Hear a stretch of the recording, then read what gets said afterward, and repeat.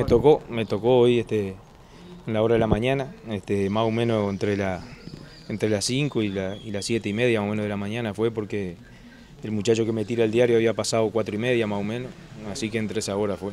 Bien, ¿y qué, qué, qué te robaron? Me, me rompieron el, eh, la puerta del blinde y, y me llevaron dinero en efectivo este, que tenía en cambio ahí adentro. Que no era mucho, pero para vos era importante. Y no era mucho, pero el daño que te hacen más bien, digo, dentro de todo lo, dentro de todo lo, lo- el desastre que, que, que te, que te entren y te rompan todo, por lo menos me dejaron la, la herramienta para seguir trabajando. Eh, ningún vecino escuchó nada. No, ninguno, ninguno. No, y mis padres están acá pegados y tampoco.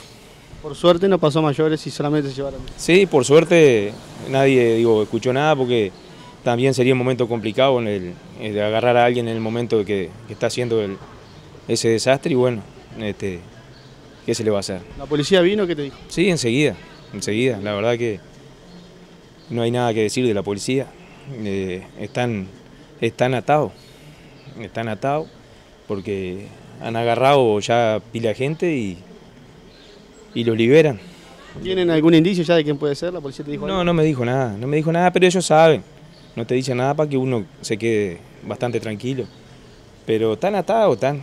Pero Eh, y sí, eh, la semana pasada robaron a, a- a otro muchacho ahí, lo agarraron y, y está suelto.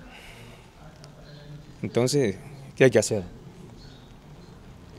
O sea, malo.